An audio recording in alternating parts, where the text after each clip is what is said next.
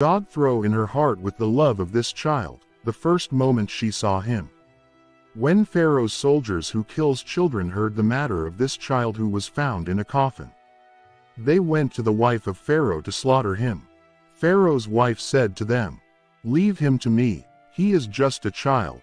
Leave him until I go to Pharaoh, and ask him to let me keep the child. And if he accepted, so you have done a good thing. And if he refused, I can't blame you.